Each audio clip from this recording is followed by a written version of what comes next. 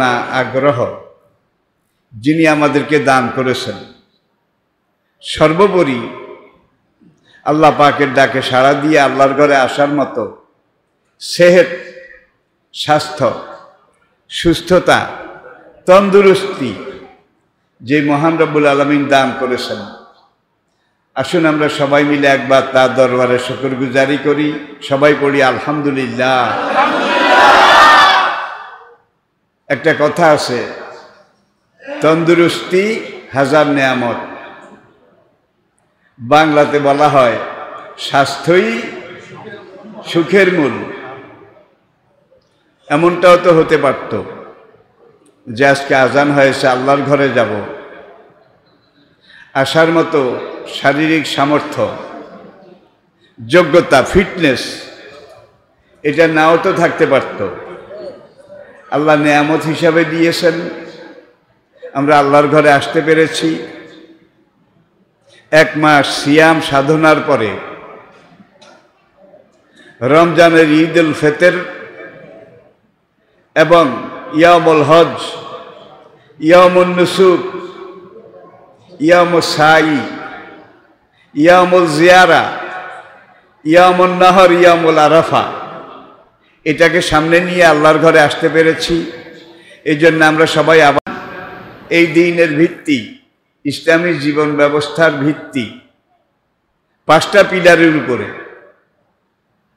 পাঁচটা স্তম্ভ this are five holy pillars of the holy Islam ইসলামের এই পাঁচটা স্তম্ভ, প্রথমটা হলো শাহাদাত ইল্লাল্লাহ ওয়ান্না মোহাম্মদার রাসূলুল্লাহ। সবাই আরেকবার পড়ি। লা ইলাহা ইল্লাল্লাহু মোহাম্মদুর এটা নাম্বার ওয়ান, প্রথম পিলার।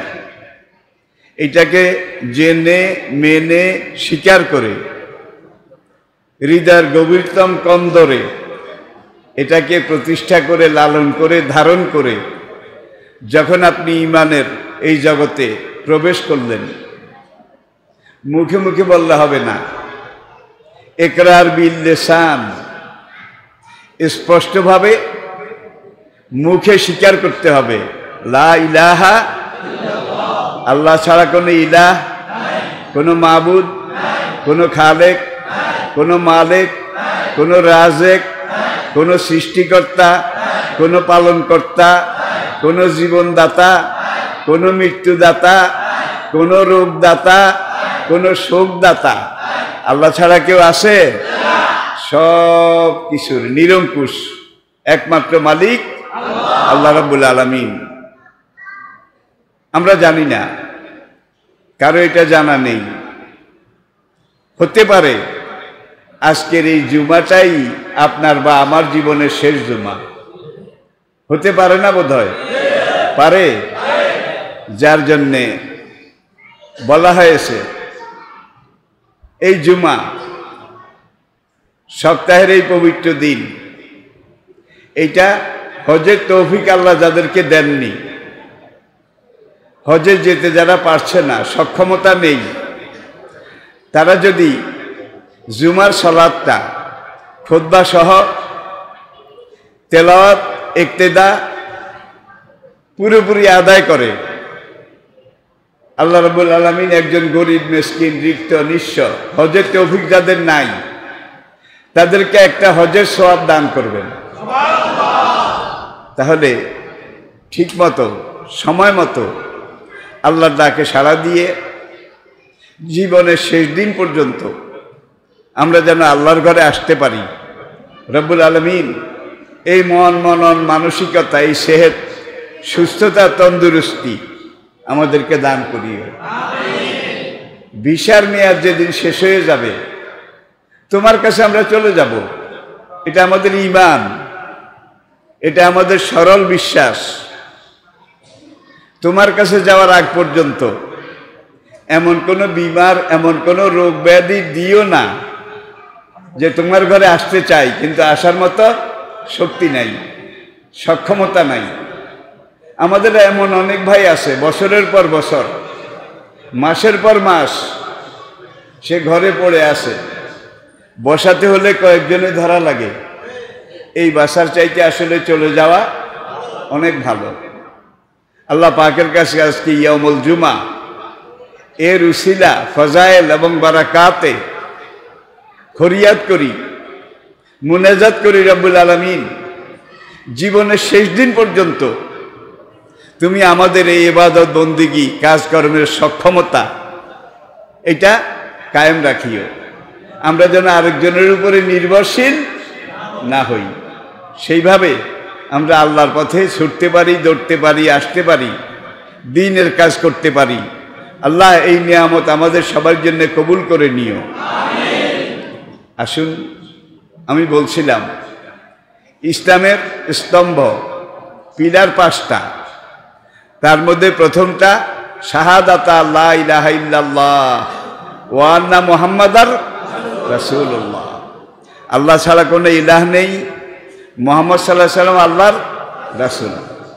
এই আপনি ইসলামের গণ্ডিতে ঢুকলেন। ইসলামের সীমারেখার মধ্যে নিজকে ঢুকালেন। একরার বিল লেসান মুখে ঘোষণা দিলেন, লা ইলাহা ইল্লাল্লাহ। তাসদিক বিল জেনান। শুধু মুখে ঘোষণা দেননি, আপনার অন্তর এটাকে মেনে নিয়েছে। এটুকুই যথেষ্ট নয়, অল আমাল বিল আর কান ইসলামের যতগুলো আর কান আহকাম, ফরজ, ওয়াজিব, এগুলোকে মেনে নেওয়ার নাম হলো ইসলাম। আর এই ইসলাম যারা জীবনে পুরোপুরি মেনে নিয়েছে, তাদেরকে বলা হয় মুসলিম। তারা মুসলমান। তারা আল্লাহর কাছে নিবেদিত প্রাণ। গেল লাইল্লাহ এটা যখন আপনি পড়লেন, আপনি আল্লাহর জমিনে আল্লাহর খলিফা। আল্লাহর জমিনে আল্লাহর সৈনিক। আপনার একটাই কাজ আনাকিমুদ্দিন আল্লাহ তাতাভার রাখু ফি আল্লাহর জমিনে আল্লাহর দিন কায়েম করার চেষ্টা। যেটা সব আম্বিয়াই কারাম, সব রসুল এটা করেছেন। লাইল্লাহ ঘোষণা দিলে হবে না। আল্লাহ ছাড়া কাউকে জানি না, কাউকে মানি না, কাউকে চিনি না। আমি একবার আল্লাহর জন্য আসি, আল্লাহর জন্য ছিলাম, আল্লাহর জন্য থাকব। আমার জীবনের সব কিছু এক আল্লাহ নির্ভর হবে। এটার নাম পারফেক্ট ইমান প্রকৃত ইমান। আপনাদের মধ্যে হয়তো নাই, কিন্তু সমাজে এমন মুসলমানও আছে। লাইলার মধ্যেও আছে। আবার লাইলার বিরোধী যে কাজকর্ম, এগুলোর মধ্যেও আছে। নাই বোধ আছে? তাহলে লাভটা কি হলো? মাসি মাসি, গৃহীতে একটা প্রাণী। সে মানুষ পায়খানা করলে পায়খানার উপরেও বসে কাঁঠাল ভাগলে বোধ কাঁঠালের উপরে বসে না। আমের উপরেও বসে। মিষ্টির উপরেও বসে। এখন আমাদের অনেক মুসলমানের কিন্তু এই মাসি মার্কা চরিত্র হয়ে গেছে।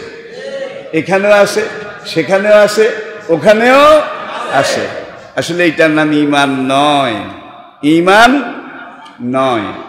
আমাদেরকে বুঝতে হবে। তাইলে আল্লাহর কাছে আমি সারেন্ডার করেছি। আমার জীবনে এখন থেকে আর আমার ইচ্ছা চলবে না। আমার পরিকল্পনা চলবে না। আমার জীবন চলবে আমার মালিকের ইচ্ছা অনুযায়ী, আমার মালিকের পরিকল্পনা অনুযায়ী। আল ইসলাম ও মুসলমান সুদান ও গরদাম নেহাদান বা তাত আল্লাহর প্রত্যেকটা হুকুম হাকামকে সন্তুষ্ট চিত্তে মেনে নেয়া। এটার নাম হলো ইসলাম। এটার নাম হলো যখন আপনি বললেন আমি একজন মোমেন। আমি একজন মোমেন, ইমানদার। তখন আপনার উপরে এক নম্বর সিগনাল অর্পিত হবে, এক নম্বর সিগনাল আর যখন বলবেন, আমি একজন মুসলিম, মোমেন আর মুসলিম কিন্তু পার্থক্য আছে। মোমেন শুধু যে স্বীকার করেছে, আর মুসলিম সেই ব্যক্তি, যেই ব্যক্তি স্বীকারও করেছে, আর ইসলামের আরকান আহকাম এগুলাকে পালন করে যাচ্ছে। তাইলে আপনি যখন বলবেন আমি মুসলিম, আপনার উপরে দুই নম্বর সিগনাল ইবলিশের পক্ষ থেকে, বাতিলের পক্ষ থেকে। আর যখন বলবেন, আমি একজন মোমেন, আমি একজন মুসলিম, আমি আল্লাহর জমিনে আল্লাহ দিনের একজন দায়ী, দিনের রায়, দিনের নকিব, দিনের মুজাহিদ আল্লাহ দিন কায়েমের জন্যে, আল্লাহর খেলাফত, এটা প্রতিষ্ঠা করার জন্য আল্লাহ আমাকে দুনিয়াতে সৃষ্টি করেছেন। এটা যখন বলবেন, তখন দেখবেন বাতিলের দিক থেকে আপনার উপরে দশ নম্বর সিগনাল দশ নম্বর সিগনাল আমি কি বুঝাতে পেরেছি? আসেন। মক্কাতে দিনের দাওয়াত চলছে। সাহবাই কারাম, মদিনা ইসলামী রাষ্ট্রের যাওয়ার আগে মক্কাতে পুরো তেরো বছর ছিলেন। নির্যাতন যুগ। ইসলামী আন্দোলনের নির্যাতনের যুগ। বেলালের শরীরে চামড়া ছিল না। খাব্বা বিন আরাতের শরীরে চামড়া ছিল না। আম্মার ব্লিয়াসের শরীরে চামড়া ছিল না। অনেককে তারা শহীদ করে দিয়েছিল। আর অনেকের শরীর থেকে এইভাবে রক্তগুলো ঝরায় ঝরায় তাদেরকে মৃত্যুর মুখামুখি করে দিয়েছিল। এত জুলুম নির্যাতন করে তারা একজন মোমেনকে বোধহয় ইসলাম থেকে ফিরাতে পেরেছিল। বলেন, মক্কায় কত আর মার খাওয়া যায়? মানুষ তো। কিছু মুসলমান হাফসায় চলে গেলেন। লোহিত সাগর পার হয়ে আবিসিনিয়া, আফ্রিকায় চলে গেলেন। বাদশাহ নাজ্জাসির কাছে রাজনৈতিক আশ্রয় চাইলেন। ইতিহাস আপনারা জানেন। আমি শুধু একটু মনে করিয়ে দিচ্ছি। যখনই মুসলমানরা গেলেন, তাদের সংখ্যা ছিল চোদ্দ। কিছু কম বা কিছু বেশ, তাদের সংখ্যা। ঠিক পরের দিন সকালে মক্কার একজন কোরেশ নেতা, কাফেরদের নেতা, আমর ইবনুল আস আমর ইবনুল, তিনি তখন ইসলাম গ্রহণ করেননি। ইসলামের বিরুদ্ধে যারা সাড়ে সে আনা মুসলমানকে ধরো, মারো, কাটো, খতম করো ধরো, মারো, কাটো, খতম করো। সেই যুগে ছিল, এই যুগে হয়তো বা নাই আর কি। আচ্ছা আসুন। এখন আমর আবদুল্লাহ একটা চিঠি নিয়ে বাদশাহ নাজ্জাসির হাতে দিল, চিঠি। মক্কার বড় বড় কোরেশ নেতাদের দস্তখত আছে। সম্মিলিত দস্তখত, আবু জেহেল, ওতবা অলিদ রবিয়া, মগিরা সাহেবা সবাই দস্তখত দিয়েছে। চিঠিতে লেখা ছিল, বাদশাহ হুজুর মক্কার কিছু দুষ্কৃতিকারী। দেখেন, মক্কার কিছু খারাপ মানুষ, এই যুগে হইলে বলতো জঙ্গি, এই যুগে হলে বলতো এই ওই। আমি কি বুঝাতে পেরেছি? এই লোকগুলা খুব খারাপ। মক্কার বারোটা বাজাইছে। এক পরিবারের মধ্যে ভাগাভাগি করে দিয়েছে। ভাইয়ে ভাইয়ে বিচ্ছিন্ন করে দিয়েছে। নতুন এক ধর্মের প্রচার করে করে আমাদের সমাজটাকে প্রায় ভেঙে ফেলেছে। মক্কার আম জনতার মার খেয়ে তারা যখন আর টিকতে পারছিল না, তখন তারা আমরা খবর পেয়েছি, আপনার দেশে গিয়ে রাজনৈতিক আশ্রয় চাইছে। বাচ্চা হুজুর, আপনার কাছে অনুরোধ করি, এই খারাপ লোকগুলাকে আপনি আপনার দেশে জায়গা দিয়েন না। বাচ্চা খ্রিস্টান বাচ্চা খ্রিস্টান, তার ব্রেইনে অ্যাটাক করল। এই লোকগুলো এত খারাপ। দেশ বিরোধী রাষ্ট্রবিরোধী, খুনি, জঙ্গি, এটা, ওটা, খারাপ লোকগুলা দেশ ছেড়ে চলে আসছে, বলা গেছে। গজব দূর হয়েছে এদেরকে ফিরিয়ে নেওয়ার জন্য এত গরজ কেন? যেদিন মুসলমানরা হাফসা গেলেন, প্রথম হিজরত করলেন, রাতে দারণ্য দোয়াতে, ইবলিসের নেতৃত্বে আবু জেহেলরা মিটিং করল যে, মোহাম্মদের নতুন দিন। নতুন ইসলামী আন্দোলনের দিন মক্কার জাতীয় পর্যায়ে ছিল। মেরে টেরে আমরা এটাকে জেদ্দুর পেরেছি কন্ট্রোলে রেখেছি। এখন যেই কজন আবিসিনিয়া গেছে, সেখানে যদি রাজনৈতিক আশ্রয় দেয় আর তারা থাকার জায়গা পায়, তাহলে ইসলাম এমন এক জিনিস যে ইসলাম কবুল করেছে।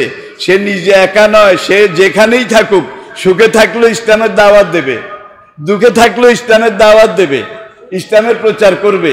এখন আবিসিনিয়ায় যদি তারা সেখানে জায়গা পায়, রাজনৈতিক আশ্রয় পায়, তাহলে মোহাম্মদের ইসলামী আন্দোলন মক্কার জাতীয় পর্যায় থেকে আফ্রিকার আন্তর্জাতিক পর্যায়ে চলে যাবে। তাহলে এইটাকে আর কন্ট্রোল করা আমাদের পক্ষে সম্ভব হবে না। এই জন্য লোকগুলোকে ফিরিয়ে আনার জন্যে আমর আস তাকে পাঠানো হলো। এখন বাচ্চা নাজ্জাসী মুসলমানদেরকে ডাকলেন। তাদের গ্রুপ লিডার, এই জামাতের আমির, আলী আল্লাহ তালুর ছোট ভাই জাফর। জাফর এমনে আবু তালেব রাদি আল্লাহ তালু তখন আমরুল্লাস তার আরও দুইজন সফর সঙ্গী, আরেকদিকে মুসলমানরা। তাদের এখানে পট্টি, এখানে জখম, কারও কান কেটে ফেলেছে, কারও চোখের ভুড়ি উপরে ফেলেছে। কারও দাঁত ভেঙে ফেলেছে, মারের তোড়ে কেউ দাঁড়াতে পারছে না, এইভাবে হেলাম দিয়ে কেউ কুজো হয়ে, কেউ দাঁড়িয়ে থাকার চেষ্টা করে আবার বসে গেছে। দাঁড়িয়ে থাকার সক্ষমতা এইটাও হারিয়ে গেছে। এখন বাদশাহ নাজ্জাসী বলে, এই লোকগুলা, মক্কাতে তোমরা ওদেরকে এমন মায়ের মেরেছ, তারা প্রায় জীবন মৃত। এইভাবে মেরে আজ পর্যন্ত কয়জনকে মোহাম্মদের নতুন ধর্ম থেকে ফিরিয়ে তোমাদের কুফুরি ধর্মে আবার আনতে পেরেছ? কয়জনকে? আমরা রাজ বলে, বাদশাহ হুজুর মিথ্যা বলতে পারব না। জীবন দেয়, মরে যায়। কিন্তু একজনকে মোহাম্মদের ধর্ম থেকে ফিরাতে পারিনি। নাম্বার ওয়ান নাম্বার টু আচ্ছা আমর আমর নাজ্জাসী জিজ্ঞাসা করছে, এই লোকগুলার নেতা যাকে তারা নবী বলে জানে এবং মানে। এজ এ ম্যান একজন মানুষ হিসাবে কেমন? ব্যক্তি হিসাবে কেমন? আমার দাঁড়িয়ে বললেন বাচ্চা হুজুর, মিথ্যা বলতে পারব না। মিথ্যা বলা কোরেশের ঐতিহ্য নয়। মোহাম্মদ ব্যক্তি হিসাবে, মানুষ হিসাবে কেমন? এটা যদি আপনি আমাকে জিজ্ঞাসা করেন, এক কথা আমি জবাব দিচ্ছি, মোহাম্মদের মতো ভালো মানুষ মক্কায় আরেকজন নাই।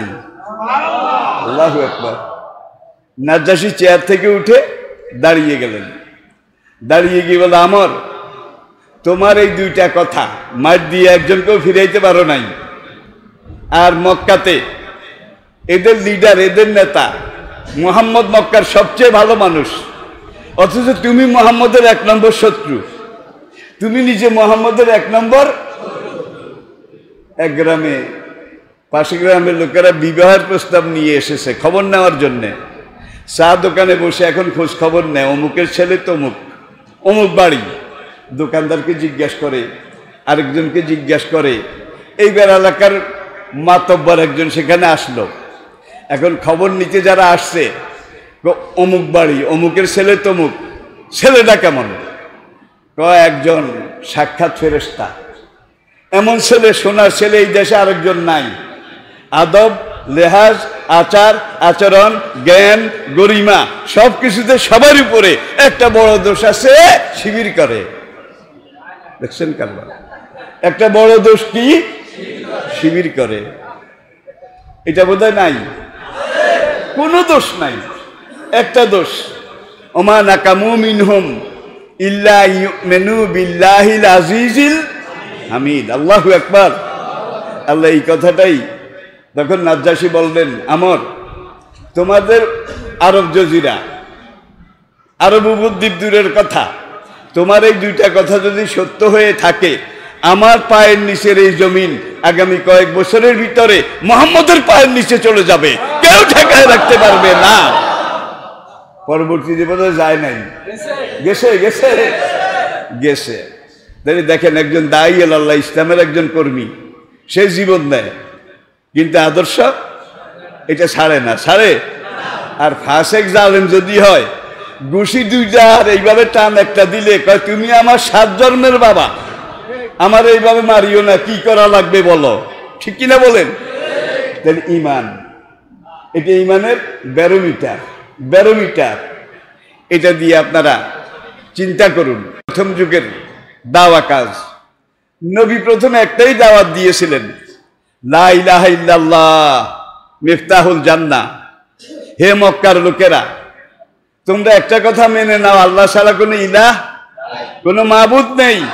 মোহাম্মদুর রাসুল্লাহ এইটা মেনে নিলেই মান কালা লা ইলাহা ইল্লাল্লাহ ফাদা খালাল জান্না যে এই কালেমা মেনে নেবে, স্বীকার করবে, সে জান্নাতে যাবে। আর কোনো কথা নাই।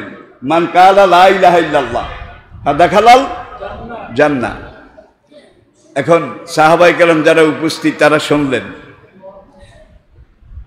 বেলাল রাদি আল্লাহ তালা আনহু, নবীজির second man second man Africa থেকে এসেছেন গোলামের ছেলে গোলাম।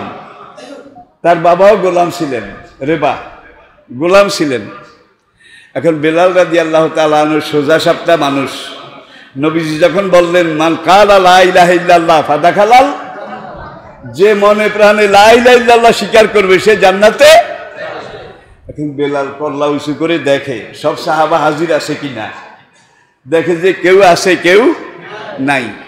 এখন বেলাল তাড়াতাড়ি বাইরেছে নবীর এই হাদিস লাই লাইল্লাহ যে বলবে, স্বীকার করবে, সে জান্নাতে যাবে। এখন এই হাদিসটা আমি, আমার আরেকজন মোমেন ভাইকে পৌঁছাবো। এটা আমার ইমানের দাবি। এখন বেলাল মসজিদে নবী থেকে বাইর হয়ে কালেমার দাওয়াত যাকে দেবে তাকে খুঁজতেছে। তেমন কাউকে পাওয়া গেল না। একজনকে পাওয়া গেল, তার নাম ওমর। তার নাম ওমর। সবাই পড়েন রাজি আল্লাহু আনহু। এখন বেলাল যখন ওমরকে দেখলেন, বেলাল বললেন, ইয়া ওমর বসরা লাকুম। ওমর, তোমার আমার জন্য সুখবর। আল্লাহ নবী বলেছেন, মান কালা লা ইলাহা ইল্লাল্লাহ দেখালাম যে লা ইলাহা ইল্লাল্লাহ এটা বলবে, সে জান্নাতে যাবে। ফাস ওমর আলা বেলাল। ওমর এমন জোরে বেলালের বুকের উপর এক থাপ্পড় মারলেন। তো আলা আস্তি। বেলাল বলে, আমি সিট সেখানে পড়ে গেলাম। এখন দাওয়াত সব বাদ দিয়ে আবার নবীর কাছে ফিরে আসছে। হুজুর, আপনি বললেন লাই লাইল্লাহ মান কালা লাই লাইল্লাহ ফাদা খালাল। আপনার এই হাদিস, আমি ওমরকে পৌঁছাইছি। ওমর আমাকে ঠাডাইশো বার দিছে ঠাডাইশো বার বুঝেন তো। হাজ ধরাবা ওমর আল্লাহ সাদিয়াইয়া, এমন জোরে আমার সিনার উপরে থাপ্পড় দিয়েছে। ফাঁকারার তো আল্লাহ এসতি আমি সিট হয়ে পড়ে গেছি। কানতে কানতে নবীর কাছে বেলাল নালিশ করলেন। এখন নবী বললেন আচ্ছা ওমর এখনই এসে যাবে হয়তো বা আসলে আমি জিজ্ঞাসা করব ওমর আসলেন, মসজিদে নবীতে ঢুকলেন, নবীজি সাহাবাদেরকে সালাম দিলেন, নবী বলেন ইয়া ওমরও আর জরাবটা আঁকা আঁকা বেলাল, একটু আগে তুমি তোমার ভাই বেলালকে মেরেছো নাকি? খুব খেয়াল করবেন, একটু আগে তুমি তোমার দিনী ভাই বেলালকে এইভাবে মেরেছো নাকি? ওমর বলে, বালা, ইয়া রাসুল আল্লাহ হুজুর মারছি। কালে মাজা? কেন মাল্লা বেলালকে বলে দেন, কোরআনের কোনো আয়াত, নবীর কোনো হাদিস, এটা জানার পরে, শোনার পরে, আরেকজনকে তাবলিক করার আগে, আরেকজনকে এটা প্রচার করার আগে, এটা অর্থ আগে বুঝতে হবে। অর্থ না বুঝে যদি, এক আল্লাহর বন্দা গেছে লেট্রিনা গ্রামের অজপাড়া গায়ের আনপড়া লোক এখন ওই তবলিগে এক সিল্লা দিছে। এক সিল্লা দেওয়ার পরে এখানে অনেক দোয়া কিন্তু। খাওয়ার সময় এই দোয়া, বসার সময় এই দোয়া, গোসলের এই দোয়া, অজুর এই দোয়া, লেট্রিনে ঢুকতে হ্যাঁ বাইরেতে এখন লোকটা লেট্রিনে গেছে। এখন লেট্রিন সেরে যখন বাইর হয়, তখন দোয়া এলোমেলো হয়ে গেছে। আলহামদুলিল্লাহ আতামানা ও সাকানা। ও জালানা মিনাও ভাই দোয়া এটা কি লেট্রিন থেকে বাইরে হওয়ার দোয়া নাকি? নাকি খাওয়ার পরে শকর আদায় করার দোয়া? শকর আদায় করার দোয়া। এখন অর্থ জানা এক লোক বলল, লেট্রিনের ভিতরে জিয়া কি খাইয়া বাইরেছেন আতামানা ও সাকানা কি খেয়ে এমন শকর আদায় করতেছেন? খুব লক্ষ্য করুন। তাহলে আমরা একজন মোমেন, যখন আপনি লাইল্লাহ এটা স্বীকার করেছেন, জেনেছেন, মেনেছেন, সঙ্গে সঙ্গে আপনার উপরে ফরজ, এটা আপনি আরেকজনকে পৌঁছাবেন, দাওয়াত করবেন, এটা আপনার উপরে ফরজ। বাল্যগু আননি বলাও আয়া। একটা আয়াতে যদি হয়, একটা হাদিসে যদি হয়, তাহলে আমার পক্ষ থেকে, আমার রবের পক্ষ থেকে তোমাদের অন্য ভাইদেরকে পৌঁছিয়ে দাও। এটা হলো দিনের তাবলিগ। দিনের এসাদ দিনের প্রচার। বেলালকে মারছো কেন? মেরেছো কেন? হুজুর, আপনি তো জানেন আমি একটু মেজাজি মানুষ। আপনি বেলালকে আগে জিজ্ঞাসা করেন, সে আমার কাছে যখন হাদিসটা প্রচার করল তাবলিক করল, পৌঁছালো, সে হাদিসের অর্থ জানে কিনা? অর্থ বুঝেছে কিনা? তখন বেলাল রাদি আল্লাহ তালা হাউমা করে কান্দে।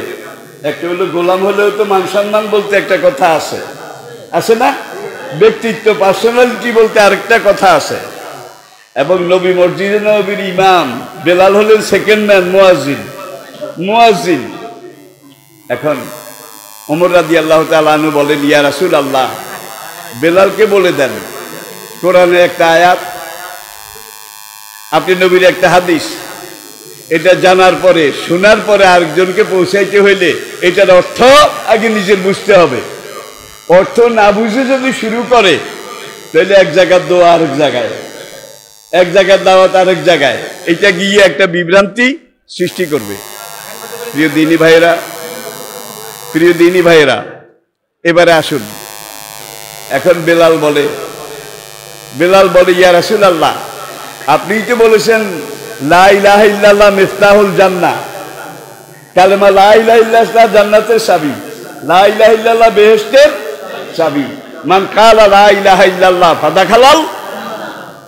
আল্লাহর যে বন্দা, আমি নবীর যে উম্মত, মনে প্রাণে একবার লাহ এটা স্বীকার করে নিল, ফাদা খালাল জান্না সন্দেহাতীত ভাবে নিঃসন্দেহে সে জান্নাতে প্রবেশ করবে। পড়ুন, আলহামদুলিল্লাহ। এখন অমরকা হুজুর, শুধু কি এইটা নাকি এটা কিন্তু কিন্তু আছে?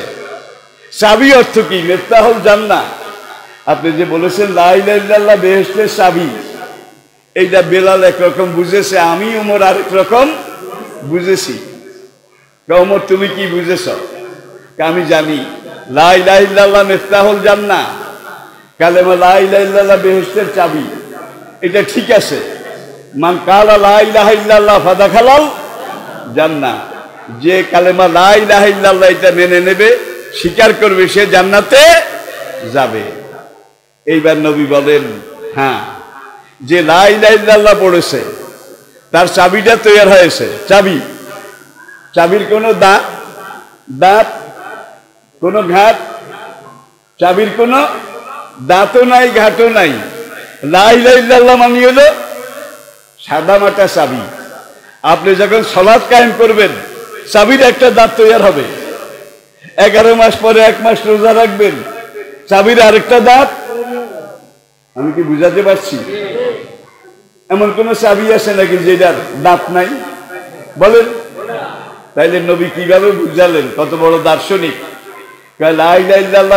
জান্না ঠিক আছে।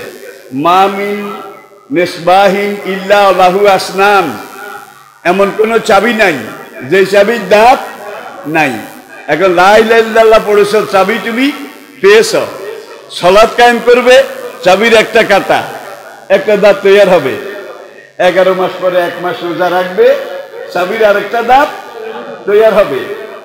গরিব, দুঃখী নিঃস্ব রিক্ত তাদের বেহেস্তের দুয়ারের তালাটা একটু ছোট সাইজের হবে স্মল সাইজের হবে, দুই লিভারের তালা হবে, দুই লিভারের তালা।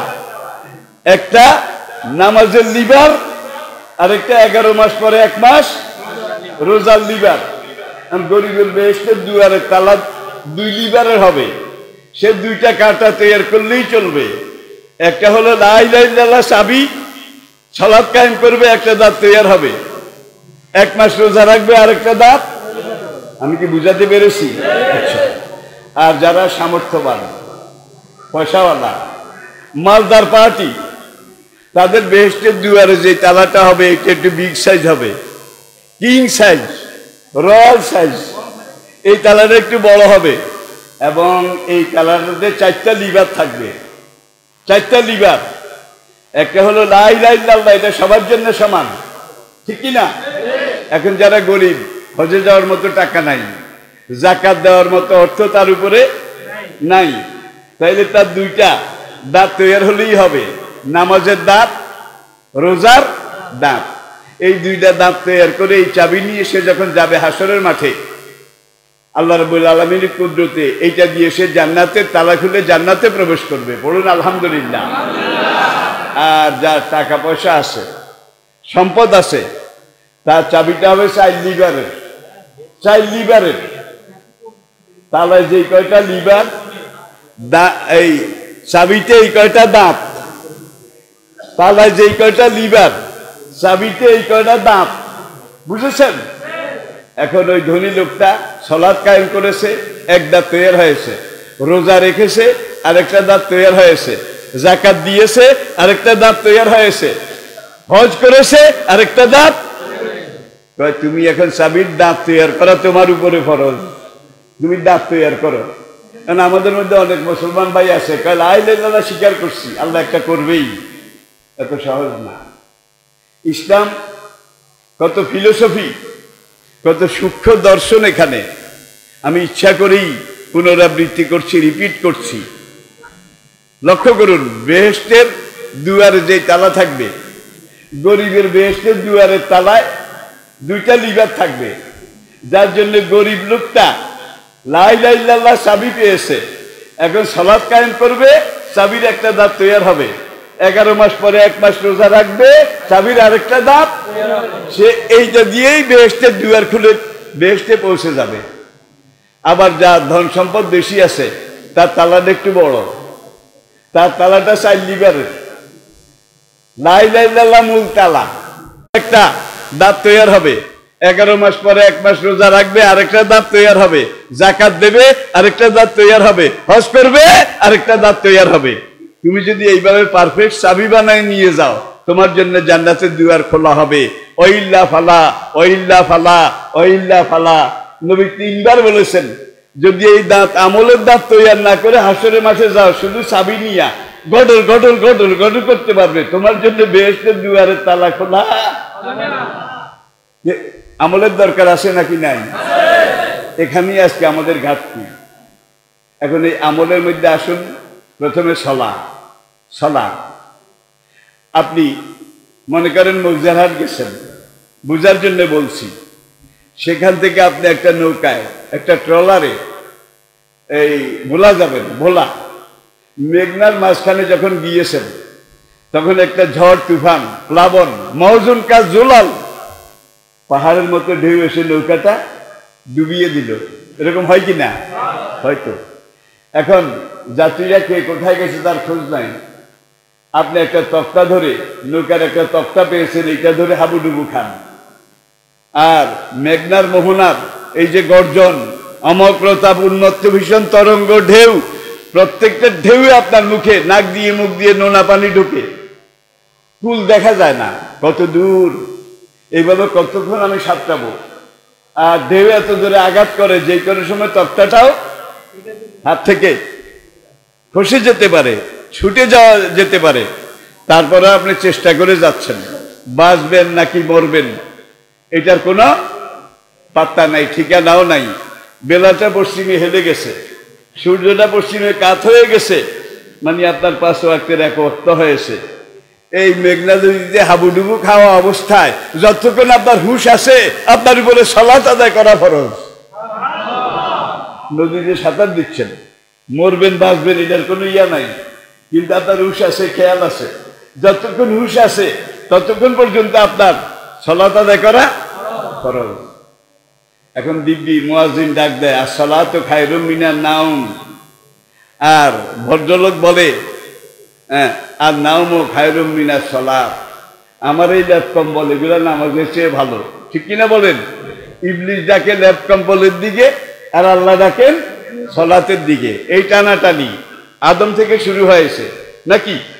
কেমন পর্যন্ত চলবে। আসেন। আপনি এমন এক জায়গায় গেছেন। এখানে কোনো পানি নাই। উজু করারও ব্যবস্থা নাই। সালাতের ওয়াক্ত হয়ে গেছে। তাইলে পানি পান না, এই জন্য নামাজ পড়া যাবে না। লাগবে না? ফাইলাম ইয়াজেদ মা আন এমন জায়গায় গেছে, পানি পাও না। হাতাইয়াম মামু সঈদান তৈবা পাক মাটি দিয়ে তুমি তাইমাম করে সলাত আদায় করো। ইমা আবু হানিফা রহমতুল্লাহ দুইজন ছাত্র। একজন আবু ইউসুফ, আরেকজন মোহাম্মদ। আল্লাহ এই আবু ইউসুফ, তিনি কিন্তু সেই বনি উম্মিয়ার খেলাফতের যুগে he was the chief justice of the supreme court of Baghdad ইসলামের সোনালী যুগে বাগদাদ সুপ্রিম কোর্টের দীর্ঘ সময় তিনি প্রধান বিচারপতি ছিলেন। কাজী আবু ইউসুফ। কাজী তিনি একদিন ওস্তাদ আবু হানিবা রহমতুল্লাহ আল্লাহকে জিজ্ঞাসা করে হুজুর এমন জায়গায় গেছি যেখানে পানিও নাই মাটিও নাই। কেমন জায়গা? কয়, এর দূর কাদার মধ্যে ডুবে যায়। এরকম জায়গাও আছে কিন্তু। আমিও অনেকবার পার হয়েছি। এমন জায়গাও তো আছে। পানিও নাই আর বালুও নাই। আমি কি করব? তবে আবু হানিবা রহমতুল্লাহ আলাই বললেন যে থকথকে কাদার উপরে, হালকাভাবে হাতটা রেখে তোমার বুকের উপরে এইভাবে লেপে দাও। বুকের উপরে লেপে দাও। তিন মিনিটও লাগবে না, এটা শুকিয়ে সাদা হয়ে যাবে। এইবার এখান থেকে বালু নিয়ে তুমি তো ইমাম করো। দেখেন, এখান থেকে বালু নিয়ে তুমি তো ইমাম করো। তোমার শত্রুর ভয়, সুন্দরবনে গেছো বাঘের ভয়। এখন কোন জায়গায় দাঁড়িয়ে স্টে করে, অবস্থান করে নামাজ পড়া যায় না। আপনি বাড়ির দিকে দৌড় দিছেন। বাড়িতে গেলে নামাজের ওয়াক্ত পাওয়া যাবে না। এই দৌড়ানো দৌড়ানো অবস্থায় নামাজ আদায় করা আপনার উপরে ফরজ। বলবেন যে দৌড়ানো অবস্থায় নামাজ কেমনে পড়ব? ভাই আমি আমার জীবনে একবার পড়েছি। This is matter of emergency matter of emergency, আমার জীবনে আমি একবার পড়েছি। হ্যাঁ এখন ওই নামাজের নিয়োগ করেছি মনে মনে, কিন্তু দৌড় দিতেছি দৌড় দিতেছি। দিতে দিতে যে এইবার আমি মনে মনে রুকু করেছি, মনে মনে সেজদা করেছি, দৌড় দিতেছি কিন্তু দৌড় দেওয়া অবস্থায়। যুদ্ধের ময়দানে আপনি জেহাদ করতেছেন, দুশ্মন আপনার উপরে দুমড়ায় মুচড়ায় এসে আক্রমণ করেছে। এই সময় বোধ হয় সলাৎ বাদ দেওয়া যাবে। যাবে? আচ্ছা একদিন। একটা ঘটনা। খন্দকের যুদ্ধ। হিজরি চতুর্থ। চতুর্থ বছরে খন্দকের যুদ্ধ। বদরে ওরা ঠকে গেল, হেরে গেল। আবু জাহেল উৎপা অলি রবিয়া, মগিরা, উমাইয়া সাহেবা সহ চব্বিশটা কাফের নেতা বদরের দিন আল্লাহর খাতায় জমা হয়ে গেল। পরের বছর কাছে এইবার তো বদরে আমরা পারলাম না আগামীবার তোমাদের সাথে বোঝাপড়া হবে। পরের বছর ওহুদে আবার বোঝাপড়া হলো। নাকি? ওহুদে কিন্তু ইসলামের হামজা রাদি আল্লাহ তালু হামজালা রাদি আল্লাহ তালু শহীদ হয়ে গেছেন। নবীজির মাথার খুলি ভেঙে গেছে, দাঁত ভেঙে গিয়েছিল। ঠিক কিনা বলেন? এটার একটাই কারণ, নবী বলছেন যে আমরা যুদ্ধে হেরে যাই বা জিতে যাই। আমি সেনাপতি যে পর্যন্ত তোমাদেরকে সিগন্যাল না দেব, এই পর্যন্ত তোমরা দুই পাহাড়ের মাঝখান থেকে একজন এক পাও নড়বে না। এখন কোরেশরা প্রথম পর্যায়ে মায়ের খেয়ে এবার যখন দৌড় দিছে।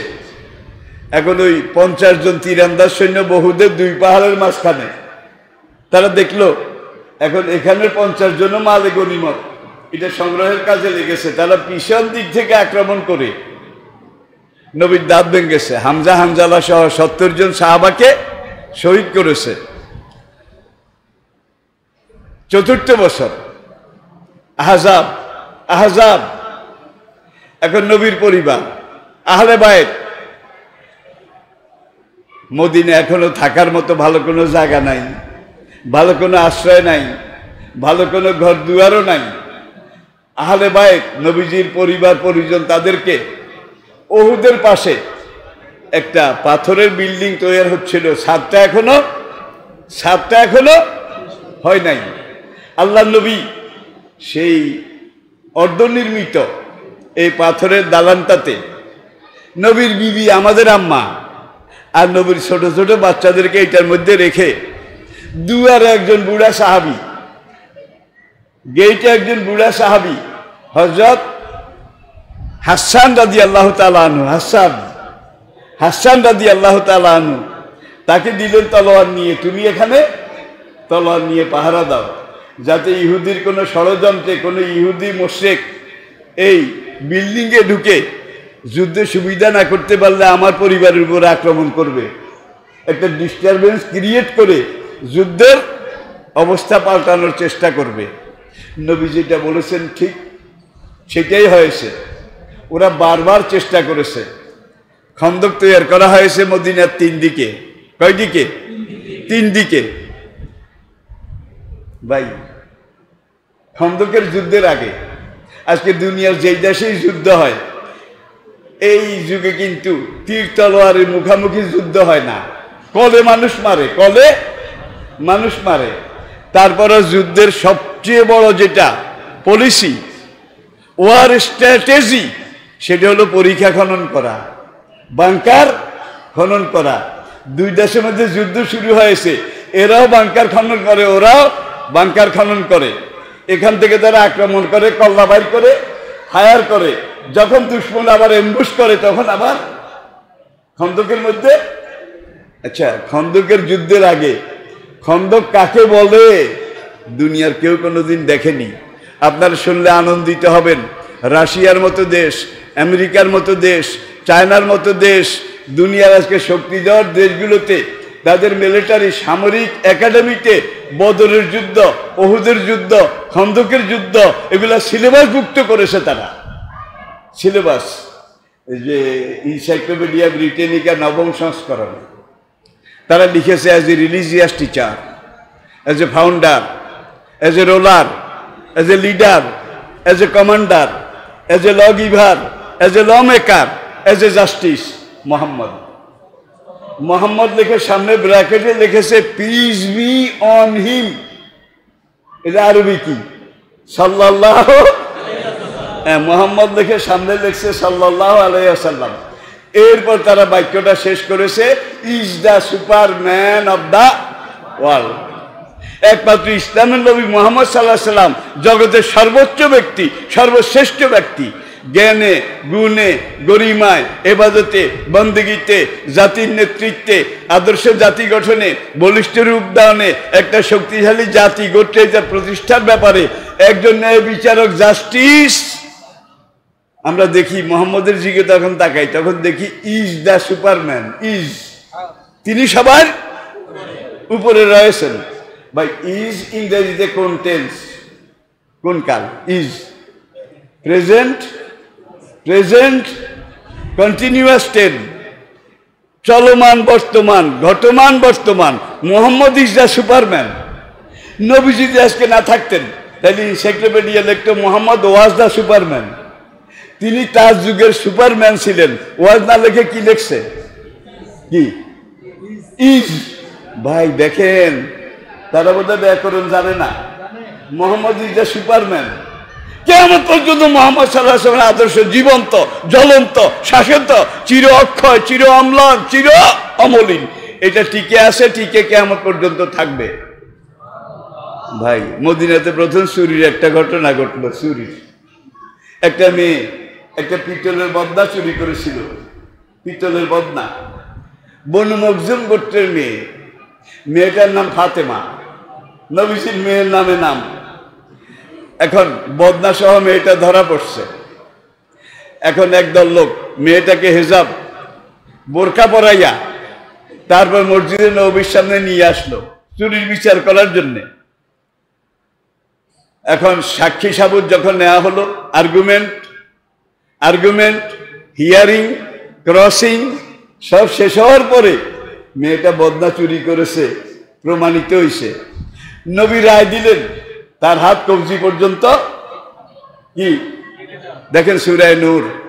আর সারেকো ও সারেকাত সোরা সুরুনি সোরা সুরুনি যদি চুরি করে, তাহলে তার যদি অ্যাবিলিটি থাকে অভাবসর না অভাবসর না স্বভাবসর চোর দুই রকম। একটা হইল অভাবসর আরেকটা স্বভাবসর অভাবসরে দেশের জাতির রাষ্ট্রের কোনো ক্ষতি করতে পারে না। অবসর হইল গ্রামের আদম আলী, কদম আলী, কব্বাদ আলী আশাদ আলী। গ্রামের এদেরকে কেউ কাউন্ট করে না। হিসাবেও আপনার ক্ষেতের একটা মুডা নিয়ে গেছে। আপনার কৈজাল থেকে একটা মাছ বাড়ির দিকে যাওয়ার সময় ক্ষেত থেকে কিছু ধন্য পাতা নিয়ে গেছে। আসলে তার নাই। তার নাই। এমন অবসরের হাত কিন্তু কাটা যাবে না। হাত কাটা যাবে কার? স্বভাবসরের এখন তার মেয়েটার পারিবারিক অবস্থান অ্যাবিলিটি এটাকে যখন অ্যানালাইসিস করা হলো, তখন এইটাও প্রমাণিত হলো, মেয়েটা অভাবসর না। কি? সবার সুর নবী রায় দিয়ে দিলেন, তার হাত কেটে দাও। ইসলামের প্রথম। প্রথম জুডিশিয়াল ল প্রথম ন্যায় বিচার। এখন আবু বকর রাজি আল্লাহ আর ওমর দুইজন এক জায়গায় বসে এই মাত্র ইসলামী রাষ্ট্র ঘোষণা করা হয়। এখনই কোরআনের আইন অনুযায়ী নবী যদি এই মেয়েটার হাত কেটে দেয়, কেয়ামত পর্যন্ত এটা একটা ব্যাড রেকর্ড হয়ে থাকবে যে মোহাম্মদ কোরআনের আইন জারি করেছেন আর কোরেশ বংশের হ্যাঁ চুক্তিভুক্ত গোত্র বনু গোত্রের মেয়ের, নবী বংশের মেয়ে, তার হাত কাটা গেছে। এটা একটা কলঙ্ক হয়ে যাবে। আচ্ছা কোরআনে তো আরেকটা আয়াত আছে। আও দিয়াতুন মুসাল্লামাতুন। হয় কেসাস হাত কেটে দাও, অথবা উপযুক্ত জরিমানা। ক্ষতিপূরণ, এইটাও তো কোরআনে আছে। এখন আবু বকর, ওমর দুইজন নবীজিকে যখন বলতে চাইলেন, নবীজির সামনে গিয়ে কি বলবেন দুজন ভুলে যায়। নবীজির সামনে তিনবার গেছে। এই কথা বলার জন্য যে হুজুর মেয়ে যদি জরিমানা, ফাইন, এটা দিতে না পারে, আমরা ওর পক্ষ থেকে দিয়ে দেব। তারপরে করিস বংশ, নবী বংশ, এই মেয়ের হাত কাটা, এই মুহূর্তে কেয়ামত পর্যন্ত একটা ব্যাড রেকর্ড কলঙ্ক হয়ে থাকবে। নবীজির চেহারা মোবারক লাল হয়ে গেল যে করিস বংশ আমার বংশ রাজবংশ নবী বংশ। কিন্তু চুরি করেছে, চুরি প্রমাণিত, এবং সে অবাবসুর নয়, স্বভাবসুর। লাওয়ান্না ফাতেমাতা বেনতে মোহাম্মদিন সারাকাত।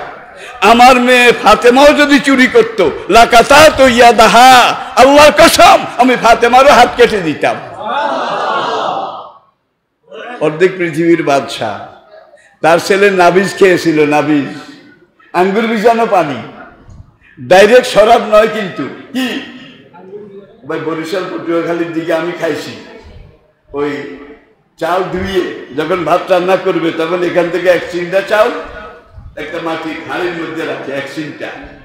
এবার এক মাস রাখতে রাখতে এটা টক হয়, একটা আস্তে আস্তে বীজ ঘুটে গন্ধ হয়। এটা দিয়ে তারা আবার সিন্নি রাঁধে, এটা কাজির যাও কাজির যাও কাড়াকাড়ি করে খায়, কাড়াকাড়ি করে। তখন সেই যুগে একটা ছিল ডাইরেক্ট মদ খামরন। খামরন, শরাব। আরেকটা ছিল আঙ্গুর, এইভাবে পানিতে কয়েকদিন ভিজিয়ে রেখে সেকে আঙ্গুরের রসটা খাওয়া। এটা কিন্তু শরাব নয়, মদ নয়, তবে খাইলে মাথা কি করে? অ্যাবনর্মালিটি অ্যাবনর্মালিটি মাথা গুড়গুড় করে। মানুষ একজনরে দুইজন দেখে, ঠিক কি না? এখন মানুষ একজন যায় না আসে, এটা ঠিক করতে পারে না, মাথা গুড়গুড় করে। মদ খায় নাই কিন্তু। কিন্তু কুল্লু মস্কার হারাম। যেটা খেলে মাথা গুড় করে, সেইটাই হারাম। যেটা খেলে মানুষ অল্প বা বেশি সময়ের জন্য অ্যাবনর্মাল হয়ে যায়, সেটাই এখন সে নাবিজ খাইছে। এখন মিশরের গভর্নর আমর এবনুল আসকে দূতের মাধ্যমে খবর পাঠানো হলো, ওই আমর এবনুল আস, শুরুতে বলেছিলাম, নাজ্জাসির দরবারে গেছিল। মুসলমানদেরকে ফিরিয়ে আনার জন্যে। পরবর্তীতে সে আমর এবনুল আস ইসলামের বিজয়ী বীরদের একজন।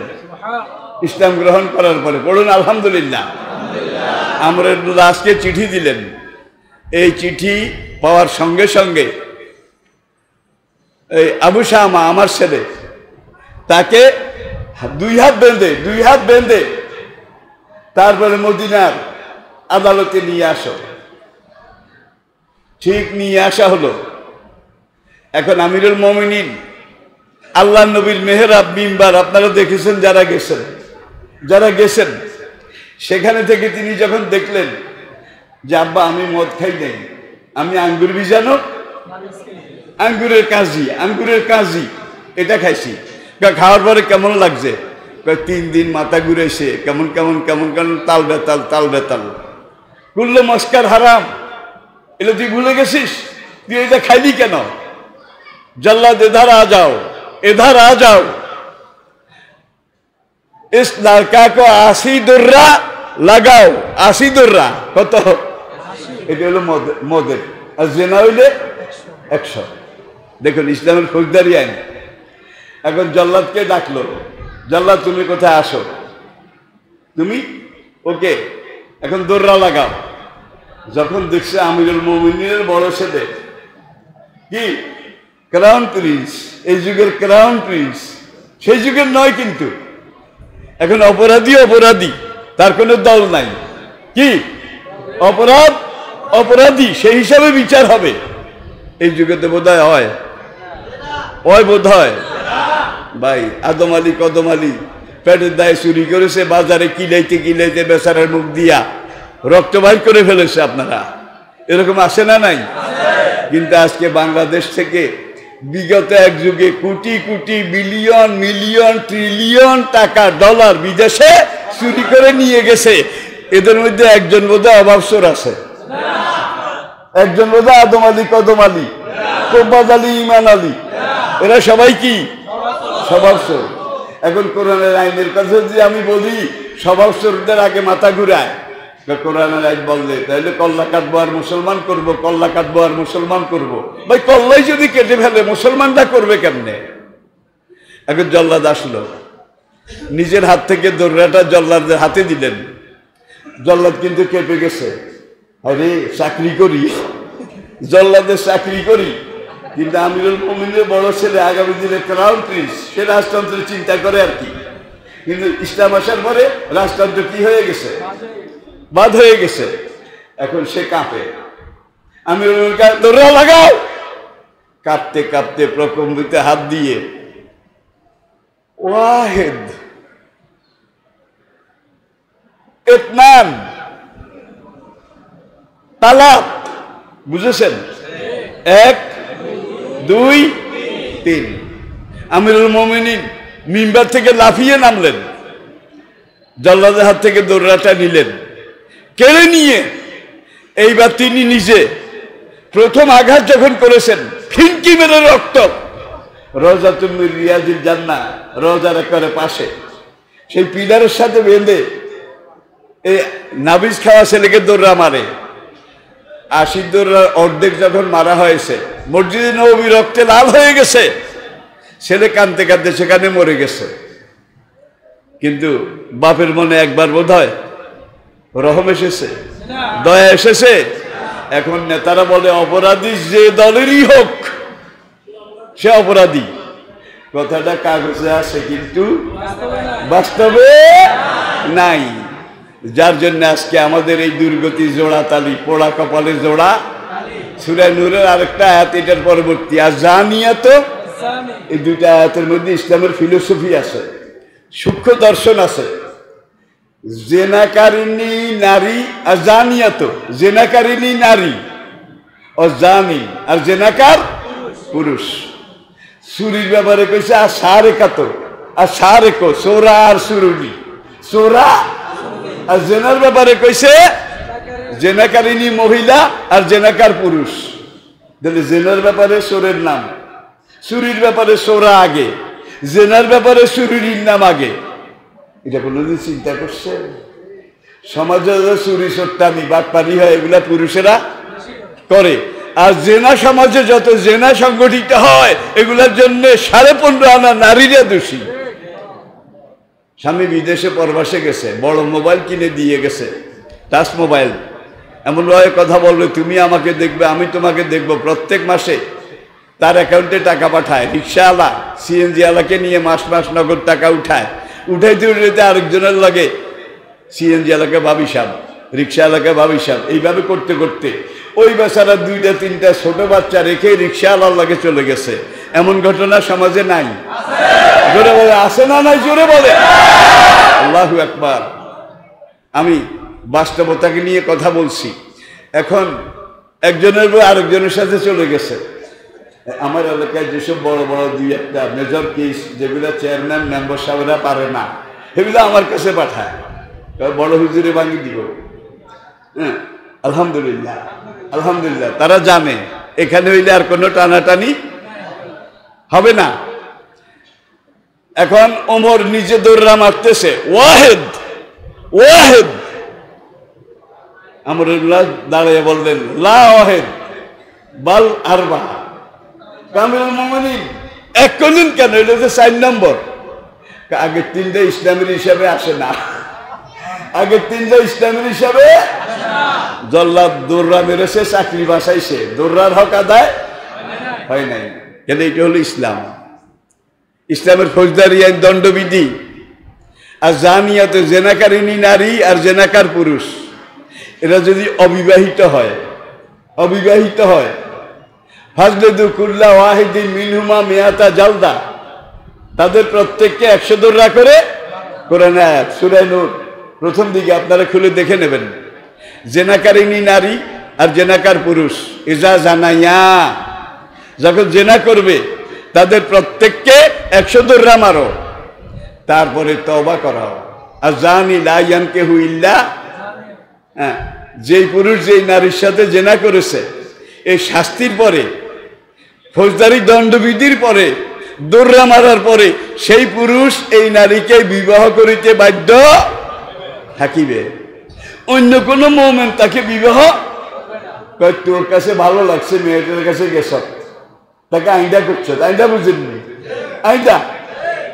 তোর আইনটা তুই খা। তোর আইনটা তুই খা। দেখেন ইসলামের সাইকোলজি কত সূক্ষ্ম। এরপরে আসেন।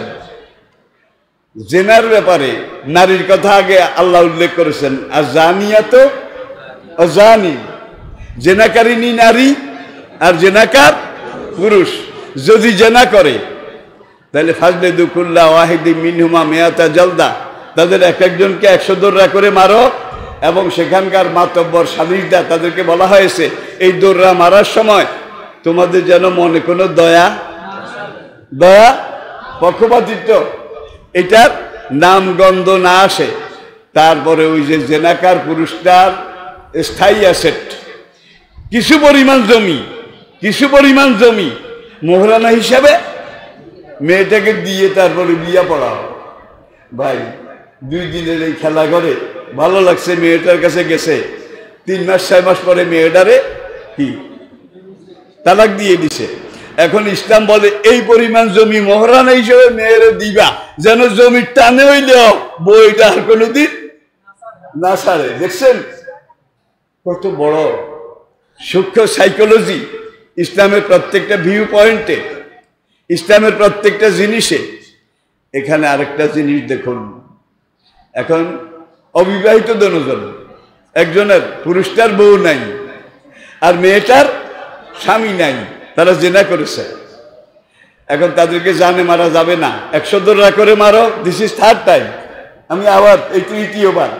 একশো দোররা করে মারো, তারপরে বিয়া পড়াইয়া দাও, উপযুক্ত মোহরানা দিয়ে। এরপরে দেখেন, আর শায়েখ ও শায়েখাত বিবাহিত পুরুষ আর বিবাহিতা নারী। বিবাহিত পুরুষ আর বিবাহিত নারী। এজা জানাইয়া যদি জেনা ব্যবসার কাজে লিপ্ত হয়, তাদের কমর পর্যন্ত গেড়ে পাথর মেরে। আর যে মুহুমান কালাম মিনাল্লাহ। পাথর মেরে তাদের মাথার মগজ উড়িয়ে দাও। দোনোটাই জেনা। আগেরটার বিচার একশো দোররা মেরে টেনে বিয়ে পড়াইয়া দাও। আর শেষেরটার বিচার হইল এই পর্যন্ত গেড়ে। সঙ্গে সার সঙ্গে সার। মাথার মগজ উড়িয়ে দাও। কারণ কি?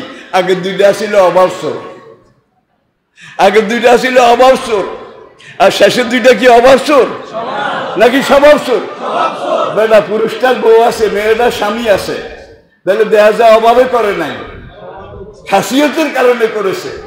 এরা সমাজের ক্যান্সার। এরা সমাজের ক্যান্সার। সমাজের দূষিত রক্ত। এদেরকে আল্লাহ আইনে যত তাড়াতাড়ি মাইনাস করা যায়, সমাজের নিরাপত্তা পারফেক্ট হবে। ভাই, আল্লাহর আইন। এইদিকে যদি আমরা একবার তাকাই, প্রত্যেকটা আইনের সাথে কিন্তু ফিলোসফি আছে, দর্শন আছে, যুক্তি আছে সায়েন্স আছে সাইকোলজি আছে। আসুন শেষ কথা শেষ কথা, যেটা বলে আমি আমার আজকের খোদ্বাপূর্ব আলোচনা এটা শেষ করছি। সেই কথাটা হলো, আমরা নিয়ত করি, আল্লাহ হজম মাবরুরুন লাইসালাহ জাজা ইল্লা জান্না নবীজি এরশাদ করেছেন। যেই হজ আল্লাহ কবুল করেছেন, যেই হজ। সেই হজের যা যা হাসরের মাসে বেহেস্ত ছাড়া আর কিছু নাই। কবুল হজের পুরস্কার বেহেস্ত ছাড়া আর কিছু নাই। আবার যারা হজ করতে যায়, নবীজির রজাবদা জিয়ারত করে না। একজন বোধহয় রওজা জিয়ারত না করে ফিরে আসছে। মান যারা কাবরি। কেয়ামত পর্যন্ত আমার কবর যে একবার জিয়ারত করবে। অজাবাত লাহু সাফাতি হাসরের কঠিন দিনে তার জন্য সুপারিশ করা আমি নবীর উপরে ওয়াজব হয়ে গেছে। তাহলে আসুন আমরা শেষ কথা হস্ত সামনে। হস্ত সামনে আমরা নিয়ত করি, আল্লাহ মেহরবানি করে, তুমি আমাদেরকে জীবনে অন্তত একবার তোমার ঘর নবীর রজা এটা জিয়ারত না করাইয়া মৃত্যু দিও না। জীবনে অন্তত একবার শেষবার এহরামের সাদা কাপড়, সিলাইবিহীন কাপড়। এটা পরার আগে একবার এহরামের কাপড় পরাইয়া, তোমার ঘর বৈতুল্লাহ তোমার নবীর রওজা, এটা জিয়ারত না করাইয়া আমাদের মরণ দিও না। সবাই রাজি আছেন? সবাই রাজি আছেন? তাইলে হজের নিয়ত করলাম। সবাই নিয়ত করেন না। বুড়িয়ারা ডরাইছে। বুড়িয়ারা ডরাইছে। সাত লাখ টাকা, আট লাখ টাকা লাগে? হ্যাঁ সেফ চলে না দুধ রোজ? সেফ চলে না দুধ রোজ? আমার বাপ দাদা চোদ্দ গোষ্ঠী সাত আট লাখ টাকা দেখা নেই আমি কেমনে করব? মা নাওয়া। যেই বন্দার যেটা নিয়ত করবে, নিয়ত করার সঙ্গে সঙ্গে আল্লাহ সব লেখা শুরু করে দেয়। ফেরেশতাকে বলে, আমার বান্দা হজের নিয়ত করেছে, তুই সব লেখা শুরু কর। ফেরেশতা বা হুজুর, এখন আল্লাহ এখন তো চায় নাই। নিয়ত করেছে। ইন্নামাল বুখারির প্রথম হাদিস। মেশকাতে এটা প্রথম আনা হয়েছে। নিয়ত আন্দাজ? তাহলে আসেন, আমরা সবাই হজের নিয়ত করি। রাজি আছেন? গরিবেরা বেশি জোরে কইবেন। গরিবেরা বেশি জোরে কইবেন। আল্লাহ, আমরা হজের নিয়ত করলাম। তুমি আমাদেরকে হজ না করে এহরামের কাপড় না পরে কাফনের কাপড় আল্লাহ তুমি আমাদেরকে হজের তৌফিক দান করো। আমি হজের নিয়ত করলাম। ভাই নিয়ত করতে বসা লাগে? আর সাই মিন্না। অলেত মামো মিন আল্লাহ নিয়ত করা আমার দায়িত্ব। আল্লাহ আমি হজ করব। তুমি আমার তৌফিক দাও। তৌফিক দেওয়ার মালিক কে? জোরে বলেন। সারা জীবন পরের বাড়িতে কামলা খেতেছে তার আজকে তিনতলা বিল্ডিং। আছে না নাই? বুনিয়ান। মায়ের সাথে ভিক্ষা করত। সেই ছেলে আজকে কয়েকতলা বিল্ডিং এর মালিক। আছে না নাই? ছেলে দেওয়ার মালিক কে? আল্লাহ। এখন আল্লাহ তৌফিক দেবে হজে চলে যাবেন আর তৌফিক, আর সাই মিন্না, অলেত নামও মিনাল্লাহ, নিয়োগ করা আমার দায়িত্ব। তৌফিক দেওয়া কার দায়িত্ব? এখন আপনি যখন বলবেন, আমি হজে যাব। তুমি আমাকে হজের তৌফিক দান করো।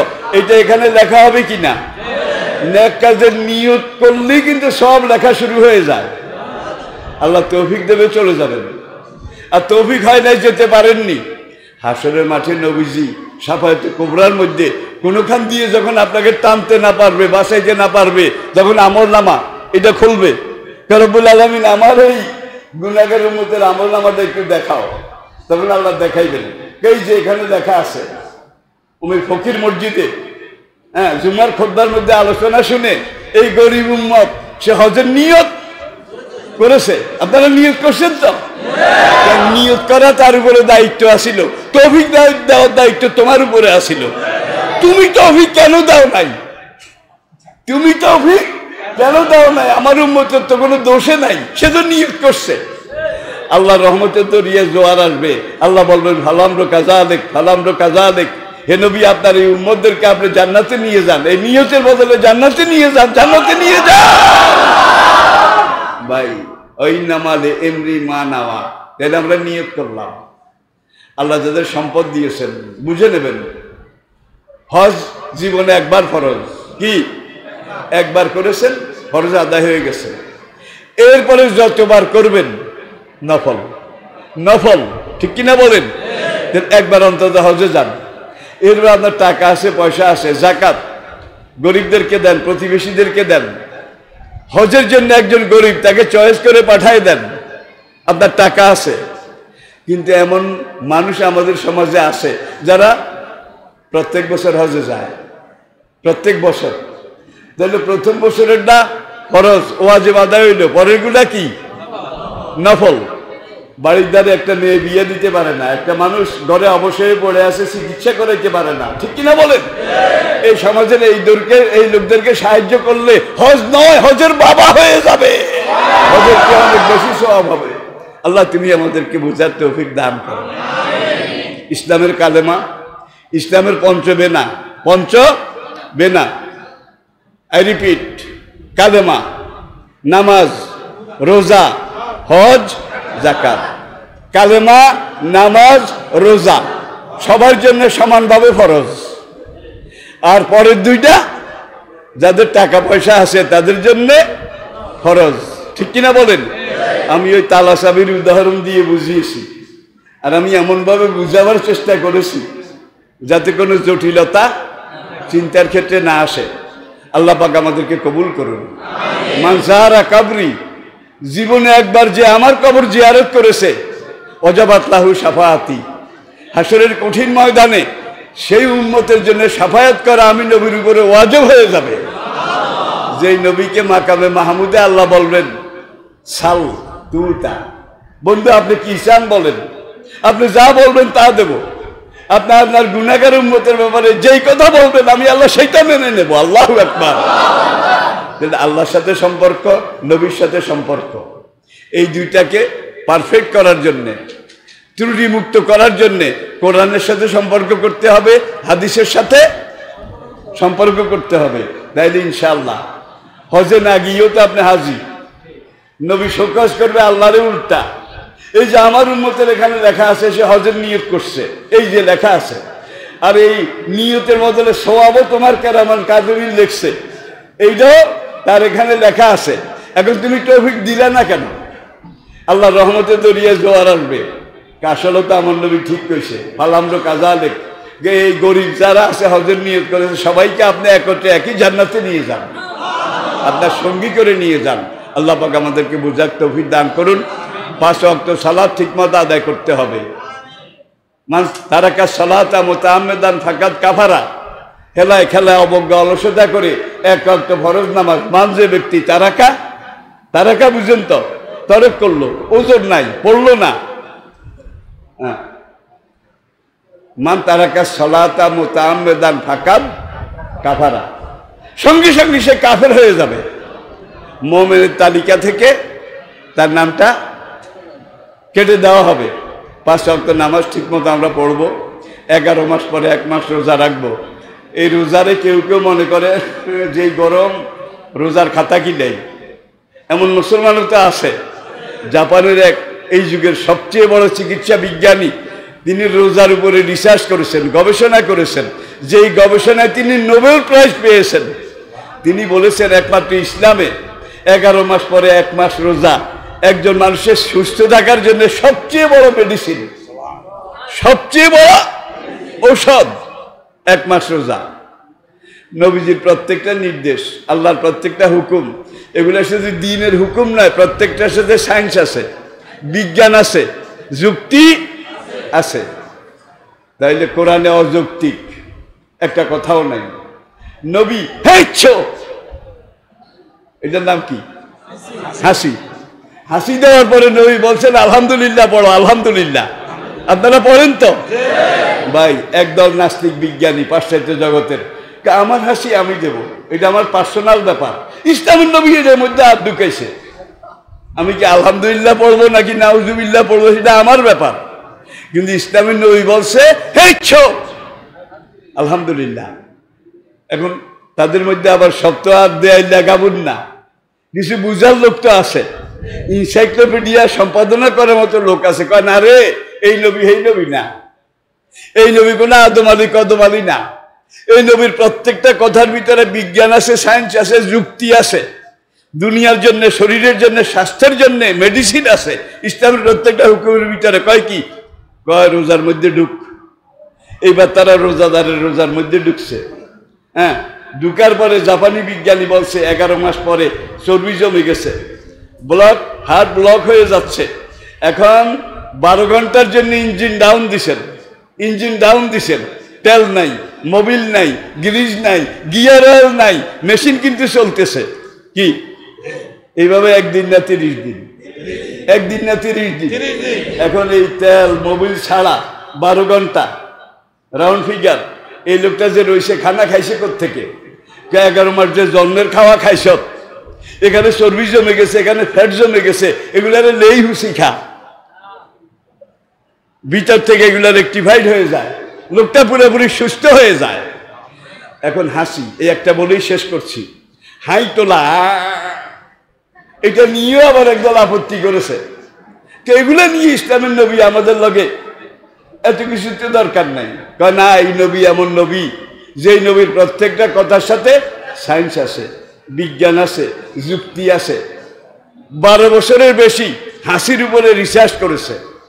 রিসার্চ করার পরে সর্বশেষ রেজাল্ট যেটা তারা দিয়েছে, মানুষ যখন নিঃশ্বাস ফেলে শ্বাস প্রশ্বাস ফেলে অক্সিজেন গ্রহণ করে, এই নিঃশ্বাসের সাথে লক্ষ কোটি ভাইরাস রোগ জীবাণু তার শরীরের ভিতরে ঢুকে। কিছু লাংসে বাসা বাঁধে, কিছু হার্টে কিছু কিডনিতে কিছু লিভারে তারা সেখানে ডিম বাচ্চা লক্ষ কোটি যখন হয়ে যায়, তখন পুরা লাঞ্চ হার্ট ওদের দখলে চলে যায়। নিয়ামত হিসেবে আল্লাহ হাসি দিছে! একজন লোকজন হাসি দেয়। বিজ্ঞানীরা পরীক্ষা করে দেখেছে, হাসি দিয়ে নাক মুখ দিয়ে যে বাতাসটা বের হয়, এটার স্পিড এটার গতি ঘন্টায় নব্বই নব্বই মাইল থেকে দেড়শো মাইল বেগে বাইর হয়। আর এই বাতাসের সাথে যেখানে যে রোগ জীবাণু ভাইরাস ছিল, সব বাইর হয়ে যায়, সব বাইর হয়ে যায়। একটাও থাকে না। যার জন্য নবী বলছেন হেচ্ছ তোমার ভাইরাস বাইর হয়ে গেছে, তুমি আল্লাহ শকর করো, আলহামদুলিল্লাহ। যুক্তি বোধহয় নাই। যতগুলা নিয়ে এই পর্যন্ত গবেষণা হয়েছে, সবগুলোর উপরে ধর্ম আছে, দিন আছে, সায়েন্স আছে, স্বাস্থ্যবিজ্ঞান আছে। তাহলে আমরা ইসলাম শিখি ইসলাম চর্চা করি, ইসলামের উপরে আমল করি, আর আমাদের পাড়া প্রতিবেশী ভাই বোনেরা তাদের কাছে ইসলামের দাওয়াত পৌঁছাই সাহাবাদের সাথে বেসতে যাইতে চাই না? তাবিন? তবে তাবিন? কুরুনে সালাসা? তারা যেইভাবে ইসলামের দাওয়া কাজ করেছেন। আকিমিস সালা সলাৎ কায়েম করো। আন আকিমিদ্দিন। আল্লাহর জমিনে আল্লাহর দিন কায়েম করো। ধরে সলাৎ কায়েম করা ফরজ, আল্লাহর দিন কায়েম করা বোধ নফল। এইটাও ফরজ। এইটাও ফরজ। কিন্তু কিছু মানুষ সলাতের মধ্যে আসে ওভারডোজ ওভারডোজ। একজন মসজিদে বসে বসে ফজর পড়েছে ইস্ট্রাক পড়েছে, এরপর আবার পড়ার জন্য অপেক্ষা করতেছে।